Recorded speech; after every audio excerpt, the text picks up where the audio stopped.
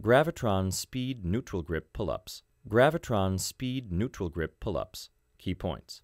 Pull yourself quickly and powerfully upward while keeping your elbows close to your ribs, retracting your shoulder blades and opening your chest.